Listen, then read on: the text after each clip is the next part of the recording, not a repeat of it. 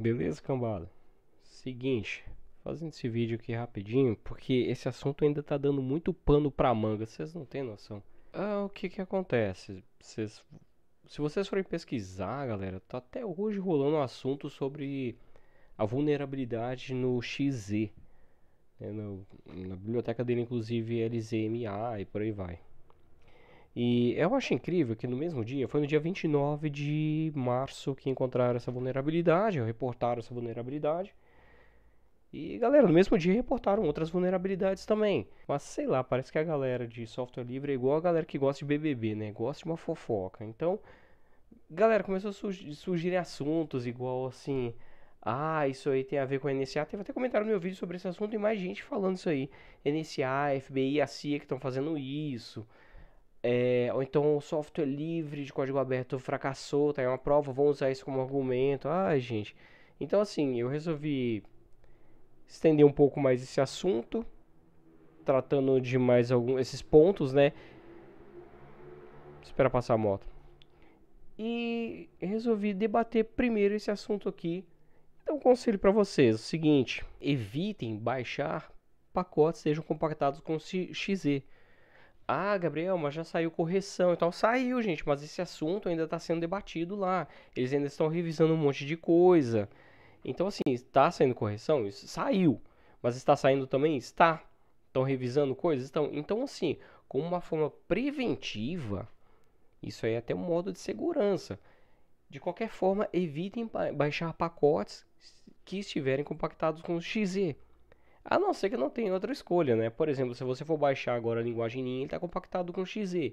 Mas, por exemplo, o BC do Gavin Howard, eu já mostrei esse comando aqui para vocês, tem um vídeo especial, mostrei que tem uma entrevista com ele, mostrei que eu reportei um bug. É, isso aqui é uma dependência para é, compilar o kernel Linux. E existem implementações diferentes do comando BC. E o Gavin Howard, ele disponibiliza, gente, compactado tanto, quanto, tanto com zip, gzip e xz. Então, assim, se vocês puderem evitar e baixar, tiverem assim, opções assim, baixem com outras formas diferentes, seja gzip, bzip2, uh, zip. Se vocês viram na live, o kernel mesmo está sendo disponibilizado agora com gzip. O que eu acho, de certa forma, um erro. Poderia ter sido o bzip 2, já que a compactação dele é bem melhor do que o gzip. Ah, Gabriel, mas você está falando mal porque o gzip é do GNU. Bem, na verdade, que gzip não é do GNU, não, viu? Se vocês forem olhar a documentação, por exemplo, do zip, a galera de Linux acha que zip é do Windows. Não, zip é universal. O cara fez para todo o sistema operacional.